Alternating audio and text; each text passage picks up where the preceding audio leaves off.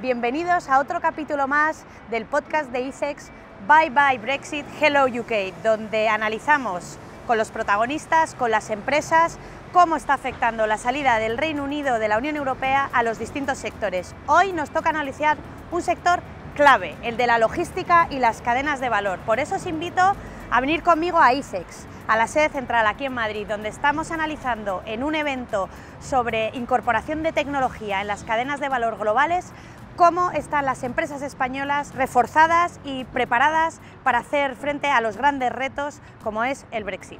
Seguidme.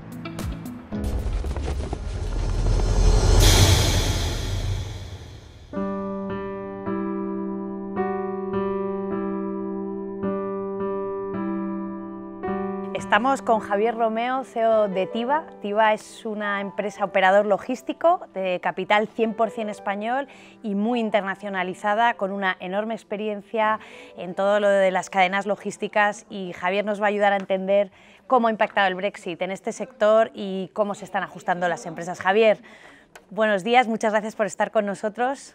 Buenos días y nada, gracias a vosotros por la invitación, un placer estar aquí con vosotros. Fantástico, Javier. Em, cuéntanos un poco cómo has sentido tú, cómo has visto que haya impactado la salida del, Reino Unido de la Unión Europea. Formalidades aduaneras, complicaciones. A ver, quizá el primer impacto, eh, el que mencionas, es el tema aduanero. Eh, hubo un periodo transitorio eh, que acabó a finales del 20 ahí pues, bueno, pues hubo unas historias, eh, mucha formación por parte de los organismos públicos, vosotros también eh, ayudasteis, la, agencia tributaria con el departamento de aduanas pues fueron eh, indicándolo cómo iba a suceder. Y pasado eso, a partir del, del, 21 ya creo que más o menos las aguas se tranquilizaron y, los operadores empezamos a operar con un poco de incertidumbre al principio, pero razonablemente bien. Es verdad que el Reino Unido, ah, con el Brexit, al salir de la Unión Europea, pasa a tener consideración de tercer país y eso pues, nos haya puesto nerviosos a los operadores logísticos, pero sobre todo a los exportadores eh, y que podían perder sus clientes en el Reino Unido los beneficios pero también a los, importadores, en este caso españoles, que les podía pasar lo mismo, pero, pero, al revés. La solución a la que se llegó yo creo que ha sido bastante buena. Eh, eh, hoy en día es verdad que hay que hacer unos trámites aduaneros que antes no teníamos y eso pues es un poco más complicado y añade un poquito de coste y un poquito de, bueno, un poco más de papeleo por en medio, pero a nivel económico lo que son aranceles prácticamente eso está solucionado. A través de la figura del REX en, el caso de nuestras exportaciones o sencillamente con la importación que el, el exportador eh, británico ponga que aquello es de origen británico y ya está. O sea que yo diría que más o menos lo tenemos bien solucionado. claro, hubo un periodo de ajuste ¿no? en el que efectivamente pues, un, incremento de, pues, de la burocracia, un volver a, aprender. ¿no? unos requisitos nuevos que no había. Es verdad que desde el ICEX, por ejemplo, sí que sacamos muchos informes desde la Oficina Económica y Comercial sobre cómo enfrentarse a esa nueva situación, pero ya parece que se está normalizando la cosa, ¿no? Sí, y ahora es verdad que el Brexit tuvo mucho impacto, quizás eh, también emocional, ¿no? Porque es algo muy cercano a nosotros y, bueno, pues toda gran parte de nuestro comercio internacional es con la Unión Europea y por tanto también con el Reino Unido. Pero en las cadenas logísticas internacionales estos cambios los tenemos con cierta frecuencia.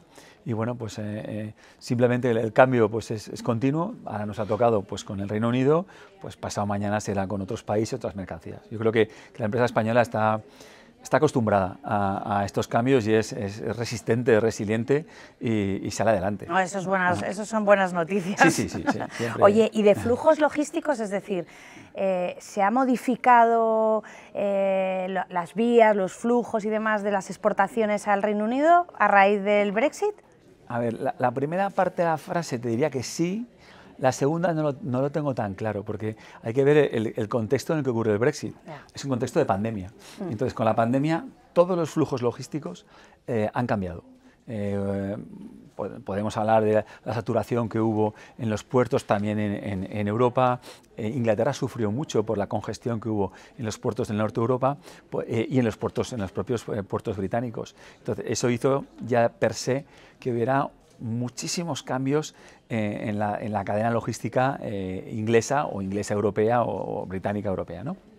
Entonces, cuánto afecta el Brexit y cuánto afecta a esto otro, me costaría, me, me, costaría decirlo, porque son factores demasiado importantes. Es verdad que hoy cuando miran las, las, estadísticas, y el ICEX lo sabéis muchísimo mejor que yo, pues unos productos vamos mejor en las exportaciones, otros vamos un poco por abajo.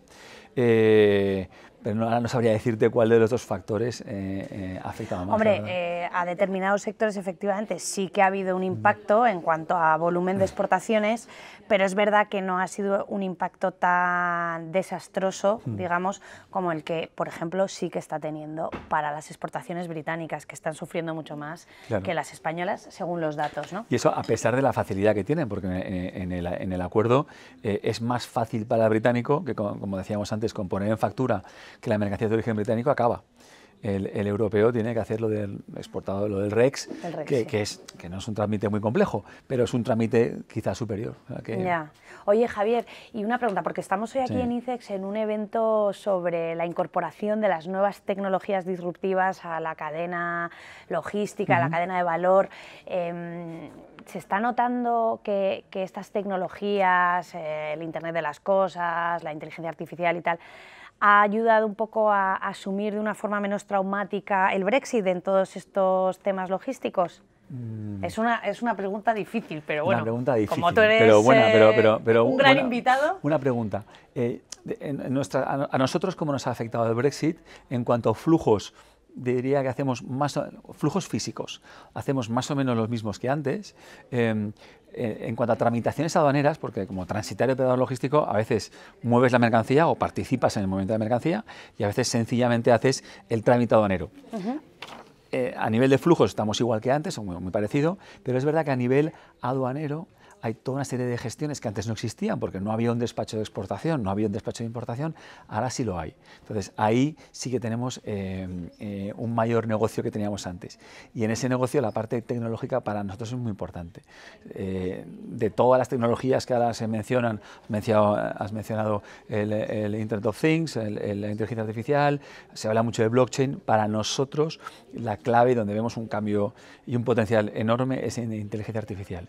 Y aplicada despachos de aduana, ahí sí que vemos una, una, posibilidad de, automatización, porque al final un despacho de aduanas es algo relativamente mecánico, en base a unos datos, que, son, una base de datos que, son los mismos, entonces puedes mm. entrenar un modelo y ahí nosotros, eh, eh, en parte con el Brexit, pero también, o sea, en parte con el Reino Unido, pero también con otros, otros, eh, otros países sí que estamos haciendo y nos permite ser un poquito más eficientes y bastante más rápidos. Javier, y ya por, por, esto es curiosidad mía personal porque hemos hecho eh, ya otro, otro podcast sobre emprendimiento, startups y startups de, alto contenido tecnológico.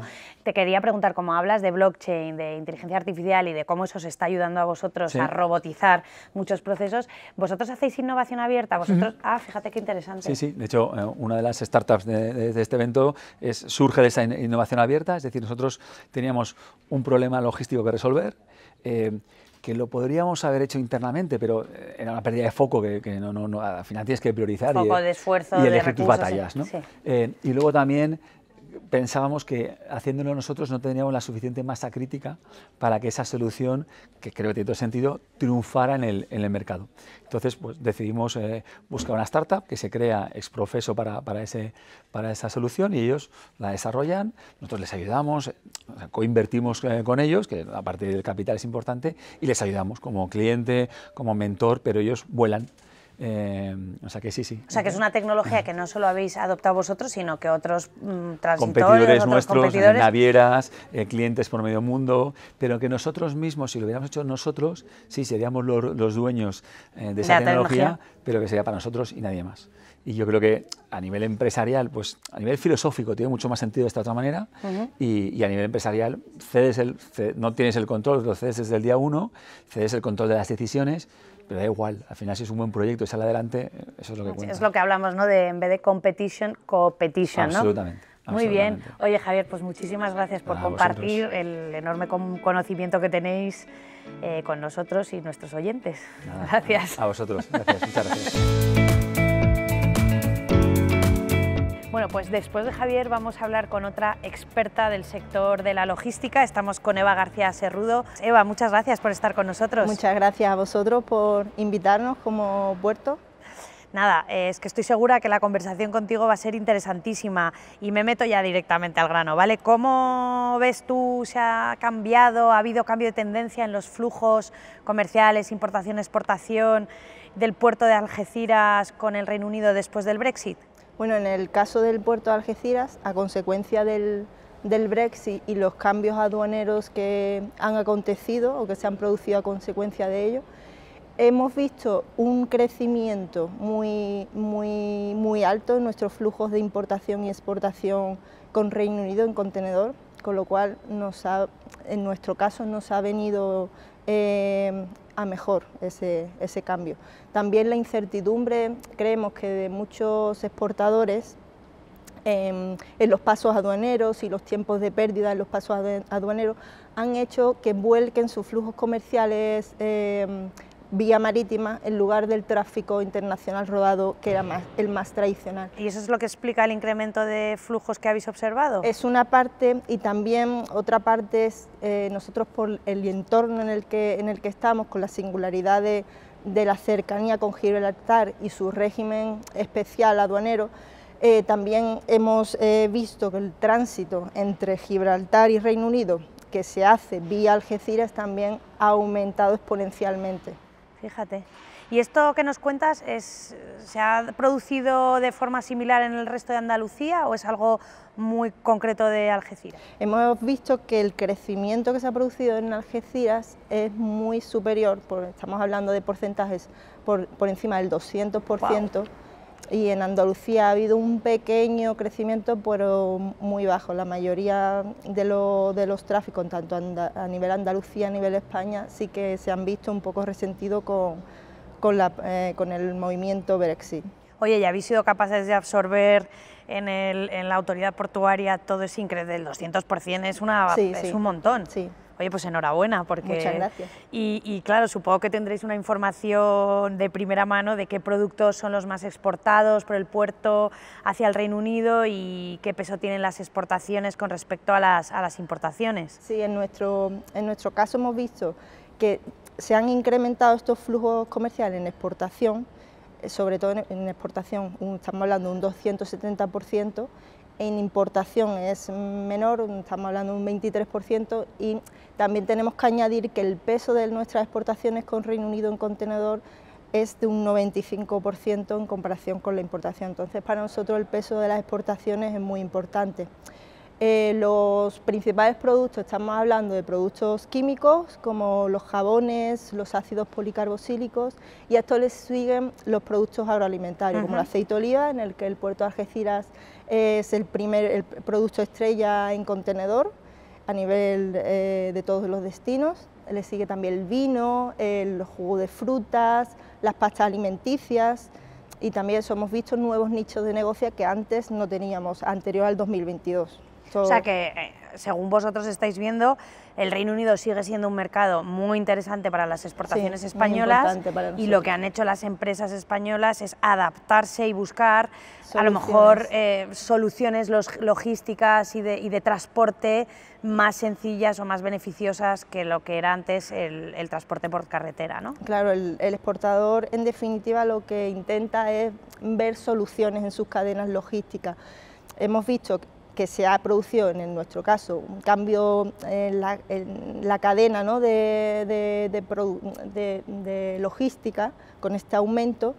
Y mm, bueno, creemos que es un, cambio que, continúa porque en el primer cuatrimestre de este año de 2023 esos aumentos y esos crecimientos están en el mismo nivel de crecimiento ah, que o sea, que es un ajuste que todavía no ha acabado, es decir, que las empresas siguen ajustando y variando sus canales de exportación y, están hay una tendencia a hacerlo a, través del mar y de los puertos más que a... Sí, es un mercado eso que estamos viendo muy de cerca, esos crecimientos y, y eso, esa nueva oportunidad también que ofrece nuestro puerto ¿no? como vía de escape.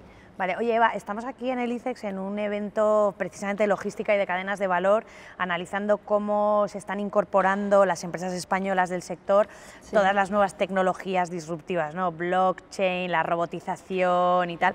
Vosotros en el, en el puerto de Algeciras eh, estáis incorporando ese, tipo de, de nuevas tecnologías y cómo os ha ayudado también eso, pues eso, a absorber y a tener esa capacidad de gestión de incrementos del 200% del, del, del, paso, digamos, por vuestro puerto.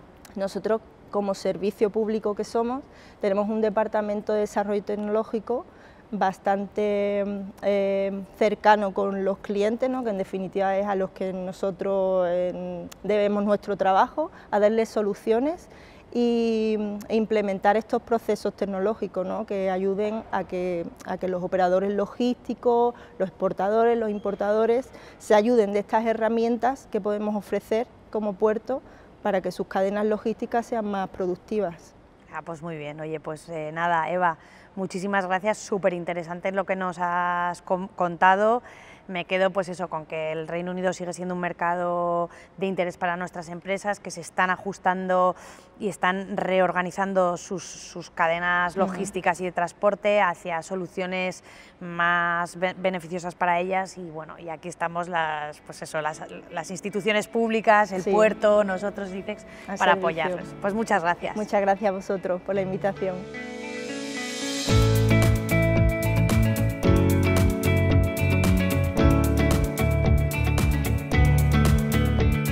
Hola a todos. Hoy tenemos el placer de entrevistar a Vanessa Checoni, directora adjunta de la empresa MC Trinter. Hola Vanessa, ¿qué tal estás? Bienvenida. Buenos días, muchas gracias. La verdad es que es un placer tenerte aquí y poder conocer más eh, sobre cómo ha afectado el Brexit a, vuestro trabajo en el sector de la logística, una empresa de relevancia como vosotros, MC Trinter, con mucha experiencia, 27 años ya, si no me equivoco, trabajando en el sector. Pues empezamos ya y te planteo qué volumen de negocio representa para vosotros eh, el Reino Unido y qué impacto ha tenido el Brexit. Bueno, para nosotros actualmente es el segundo mercado en, volumen, bueno, tanto volumen de expediciones como en volumen de facturación. el Brexit eh, para nosotros ha supuesto un aumento en este, tanto en todos los aspectos Estamos hablando de que eh, finalmente mm, se, puso en marcha el 1 de enero de 2021, hubo una pequeña caída de un 4% de expediciones, sobre todo pagadas en España, de importaciones pagadas en España. También cabe recalcar que esta bajada podría ser causada porque, mm, como los importadores españoles todavía había algunos que tienen ciertas dudas, estaban negociando con sus proveedores, estos portes se pusieron en factura y se hicieron cargo los ingleses. Entonces, pues bueno, ese, menos 4% aproximadamente lo achacamos ahí. A partir de ahí, mm, solo ha hecho que subir. Eh, el año pasado, con respecto al anterior, ha habido una subida del 11%. Eh, solo en importaciones, eh, de exportaciones un 20%, ahora vamos por el 30%. Entonces, sinceramente, para nosotros, a nivel logística, ha sido, ha sido positivo pues nos, nos, alegra escuchar eso, sabiendo de algunas de las dificultades que ha supuesto el Brexit, como tú mencionabas. Que las ha, habido. La, la, gran incertidumbre ¿no? que, que se sufría, que sufrían las propias empresas, los operadores logísticos como vosotros. En relación a, vuestros clientes, eh, ¿cuál es la tipología eh, de mercancías que más manejáis en el comercio con Reino Unido? Pues hay muchísimo químico, muchísima, muchísimo producto químico, tanto peligroso como no peligroso seguido de cerca por maquinaria, hay mucha, mucha maquinaria. También nuestros grandes clientes están enfocados en el, están centrados en el norte de Inglaterra, entonces es una zona más industrial. Eh, aparatos audiovisuales, también cosméticos, un poco serían las, los, los grandes sectores. Bueno, claro, por, lo que veo, muchos eh, son sectores además eh, muy regulados, con muchos requisitos regulatorios y que con la integración en el Brexit Ahí vino la, dificultad un poco de que, bueno, además sabéis que el Brexit estaba anunciado casi dos años antes, se fue retrasando, em, la aduana española mandó notificaciones a los clientes conforme se fueran preparando, porque en teoría en octubre de 2019 eh, se hacía efectiva la salida, no se hizo efectiva, no se sabía si íbamos a ir a un Brexit duro o a un Brexit más suave como finalmente ha sido. Entonces, bueno, pues hubo un poquito de, de, ahí de, tensión, ¿no? De gente pues, que te preguntaban por sus partidas estadísticas qué arancel pagaría, calculando a ver si entonces le, le, vendría, le saldría más a cuenta quizás abrirse a otros mercados o quedarse en Inglaterra. También dependió mucho de la tipología de empresa, empresas más pequeñitas que, que, bueno, pues lógicamente tienen que mirar mucho más y empresas más grandes que son grandes corporaciones que entonces pues bueno ya lo tienen todo mucho más, más establecido.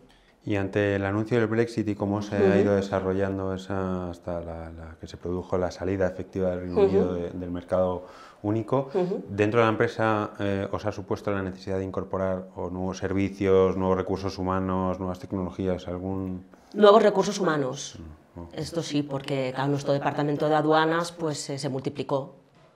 O sea, nosotros hacemos aéreo, marítimo, mm, tenemos aduana propia, nuestro, eh, nuestro almacén principal es recinto aduanero, entonces bueno, estamos preparadísimos, pero obviamente es un volumen añadido extra que, que antes no pasaba por aduana y ahora sí. Además, a nivel diario.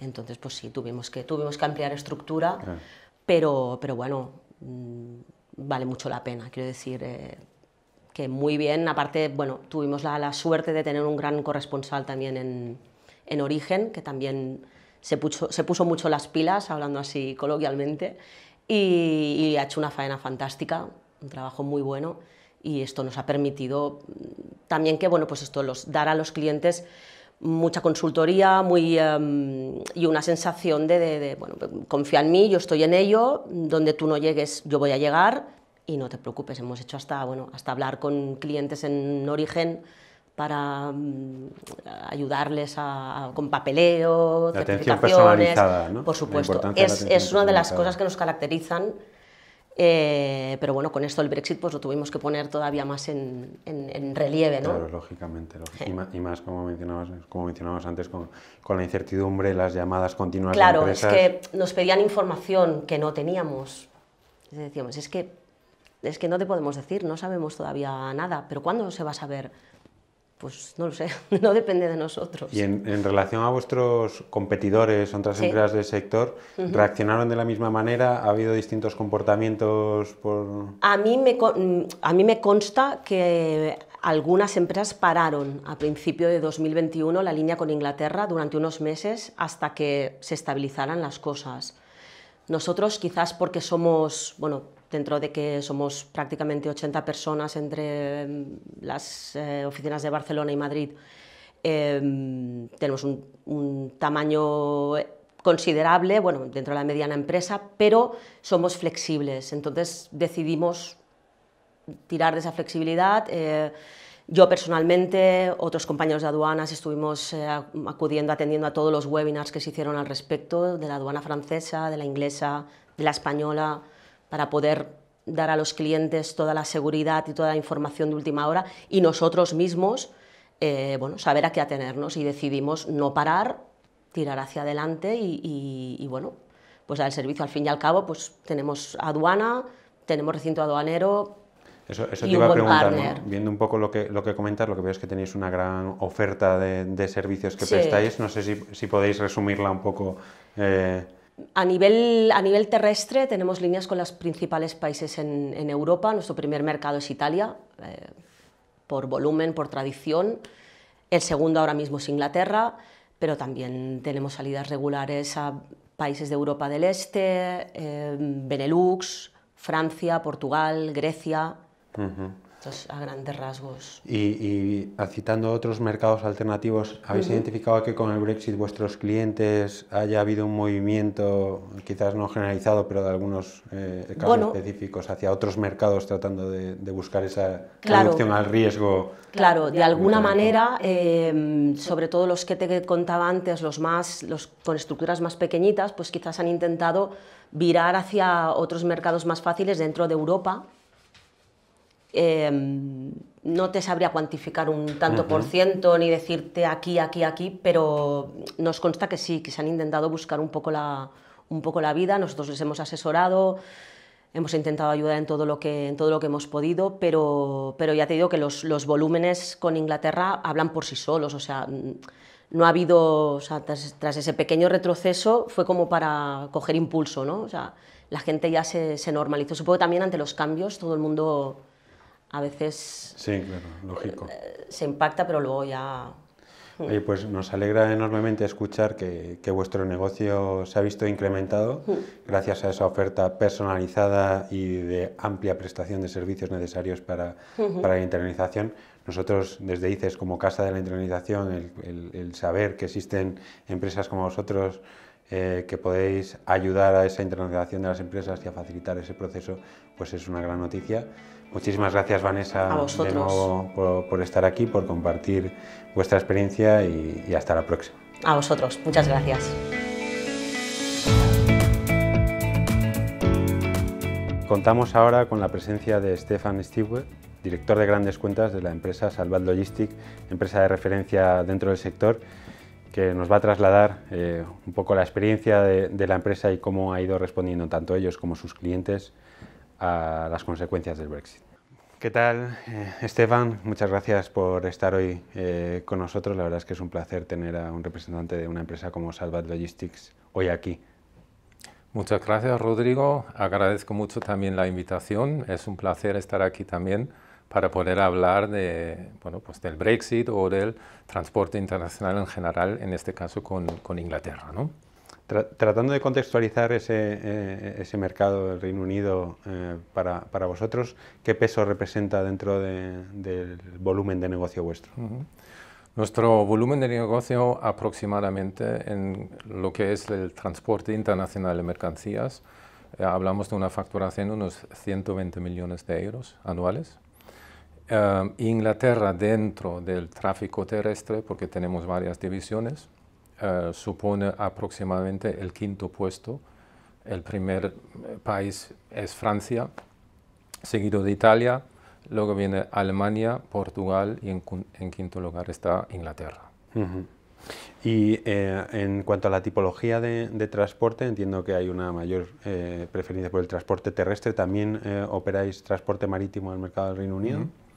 Nosotros operamos tanto transporte marítimo, aéreo, hacemos también logística eh, y el transporte internacional por carretera supone más o menos el 65% de nuestro volumen de facturación, o sea que es el core business de nuestra empresa, hablando siempre del grupaje. O sea, hacemos también lotes, hacemos también cargas completas, pero desde luego nuestro grupaje, el grupaje tanto desde España hacia Inglaterra o de Inglaterra hacia España, es lo que normalmente transportamos y realizamos a diario. Y en cuanto a tipología de mercancía que forma parte de ese, de ese grupaje, ¿también tenéis identificados algunos que tengan mayor peso en, vuestras operaciones? Bien, o sea, en, en, general lo que transportamos es todo tipo de mercancía industrial, no transportamos mercancía perecedera, no hacemos mudanzas, no transportamos efectos personales, o sea, realmente hablamos de productos acabados o materia prima para la fabricación de productos. Entonces, en especial para Inglaterra, sobre todo el, sector de automoción, piezas para la fabricación, recambios también. Tenemos bastantes clientes del sector químico, también eh, productos no acabados que, suben para Inglaterra, también bienes de consumo, pueden ser juguetes, pueden ser perfumerías, pueden ser eh, diferentes productos de limpieza, muebles, maquinaria, pero en especial quizás a destacar es automoción, bastante automoción, textil también hay, ropa, todo tipo de mercancía que realmente se puede vender en Inglaterra en, en, los mercados. Diversificación de, de, comercio, que es una cosa por la que apostamos desde, desde ICES, ya que reduce enormemente los riesgos. ¿no? Frente a situaciones como la del Brexit, nos, nos ponemos ya en, en contexto ante un anuncio del Brexit, de, un contexto de gran incertidumbre para todos, yo creo, eh, cuándo va a ocurrir o cuándo va a ser efectivo, qué va a suponer en cuanto a nuevos criterios regulatorios, a políticas arancelarias. ¿Cómo vivisteis esa situación? ¿Cómo la vivieron vuestros clientes? Eh, ¿Cómo ha ido evolucionando todo eso? Como bien has dicho, hubo una gran incertidumbre, sobre todo al principio en el 2016, ¿no? hubo el referéndum, la gente eh, o el Brexit ganó justito, eh, pero sí las empresas, la verdad es que sobre todo en Inglaterra, que afectaba de lleno, no se han puesto las pilas o no se han puesto en marcha hasta realmente cuando ya está el Brexit tocando las puertas. Y esto ha causado un gran impacto seguramente negativo en el, en el mercado, principalmente al principio. ¿no? Se colapsaron bastantes cadenas de suministros, hemos tenido eh, empresas multinacionales que no han podido transportar mercancías durante semanas hacia Inglaterra por el, el despacho de aduanas, que ya al ser tercer país volvía a, a tener aduanas y había clientes, sobre todo ingleses, empresas inglesas, que eran incapaces de realizar los trámites aduaneros que ya nadie sabía. Esto por un, un, lugar, ¿no? Por el otro lugar, también es cierto que las empresas de transporte tampoco tenían mm, gente que sabía llevar los trámites aduaneros. Hablamos de agentes de aduanas. Era una profesión que en el tráfico en Europa ya no hace falta y efectivamente sí para marítimo, sí para aéreo, pero había una gran falta de profesionales sabiendo eh, realizar estos trámites en la aduana inglesa y no tanto en la, eh, en la aduana española. ¿no? Y eh, eh, en, ese aspecto que mencionas, vosotros desde, desde Salvat experimentasteis cambios o adaptaciones, incorporación de nuevos recursos humanos, incorporación de soluciones tecnológicas que faciliten de alguna manera, incorporación de algunos métodos de, trabajo. que tuviese como, como causa el Brexit, digamos, para esa fase de adaptación? Sí, la verdad es que nosotros sí nos preparamos con anticipación a esa situación. Esperábamos, al ser, digamos, el, quinto país más importante para la empresa eh, dentro de lo que es el transporte internacional, tenemos un gran departamento de aduanas, siendo Salvat originalmente una agencia de aduanas, por lo tanto sí seguimos teniendo un departamento importante. Incrementamos aproximadamente un 25-30% eh, el personal en los departamentos de aduanas, sea en Barcelona, Madrid, Irún o en otros puntos como la Junquera también, donde se prevía una entrada fuerte, lógicamente, de mercancías y en también los despachos eh, de aduanas. Por otro lado, nuestro corresponsal en Inglaterra, teniendo también una experiencia, históricamente hablando, como agente de aduanas, estaba bien preparado, pero también tuvo que, mm, yo creo que contratar 50 o 60 empleados nuevos en el departamento de aduanas para, para hacer frente a esa avalancha ¿no? de, tramitaciones aduaneras. Y, y, con todas esas complicaciones, vuestros, vuestros clientes, ¿habéis identificado si han seguido apostando claramente por el mercado del Reino Unido o han optado también por aumentar su diversificación, buscar nuevos mercados? abordar nuevas oportunidades? Bien, la verdad es que el Brexit eh, ha causado aproximadamente desde el inicio en el 2020 una bajada de nuestro volumen en respecto a, Inglaterra de un 20%. Okay. O sea, hemos eh, bajado los números de envíos que realizamos anualmente, tanto de importación como de exportación, un 20% aproximadamente y los clientes lógicamente al ya no tener esa posibilidad de vender o por falta de conocimientos de sus clientes ingleses básicamente o por el encarecimiento del producto en sí, ¿no? sumando el, lo que es el trámite aduanero, se han tenido que buscar otros mercados, otros clientes en, en, en Europa dentro de la zona comunitaria. Luego has hecho mención dentro de la tipología de, de mercancías que, que manejáis, mucha mercancía sujeta a, regulaciones, a normativa, que eso también entiendo que, ha tenido un impacto a la hora de, entrar en vigor el Brexit. ¿no? Sí, la verdad es que eh, sobre todo la incapacidad de los clientes ingleses en saber realizar, sobre todo los primeros dos años, los trámites aduaneros en cuanto a autorizaciones, los pagos a realizar, eh, los impuestos, hacer la declaración eh, a cabo del trimestre. Todo esto ha, supuesto un, fuerte impacto negativo en la economía del país y también en, las relaciones con, España, ¿no? en cuanto a la, a la producción y, al envío de, la mercancía. ¿Y consideras que esa situación se va a superar con el tiempo y veremos cifras como las que manejabais en contexto pre-Brexit? ¿O ya las empresas buscando otras oportunidades, otros mercados, dicen, bueno, prefiero ya mantenerme en estos nuevos mercados y ya veremos si, si el mercado británico vuelve a recuperarse. No, la verdad es que se está notando, sobre todo este año, una mejora en, en el negocio en sí, es decir, las exportaciones y las importaciones no están ni mucho menos al nivel de hace tres años o cuatro, pero sí se nota una cierta recuperación. O sea, las empresas ya están eh, habitados a, a, utilizar estos nuevos trámites, ya todo el mundo más o menos sabe cómo funciona, lo que tiene que hacer, la documentación, autorizaciones o, o eh, perfeccionamientos activos o pasivos si hace falta. ¿no?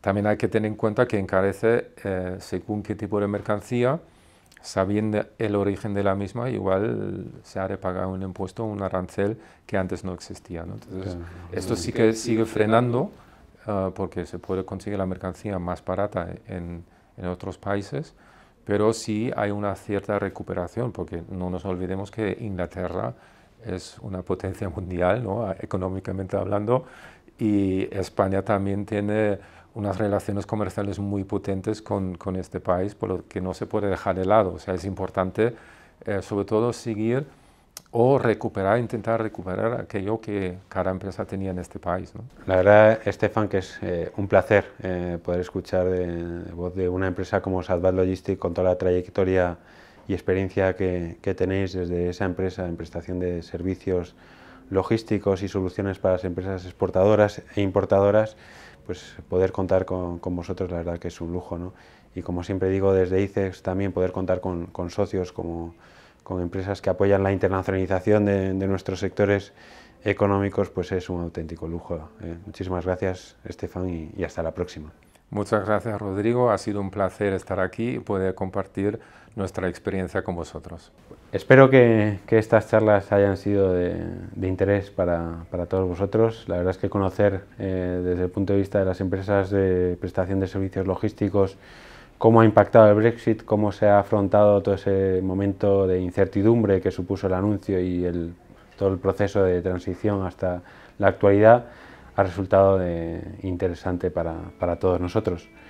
Nada más, eh, os invito a seguir eh, viéndonos y al próximo episodio dentro de, de los episodios que desde ICEX estamos desarrollando para conocer cómo la economía española y su internacionalización está afrontando el impacto del Brexit.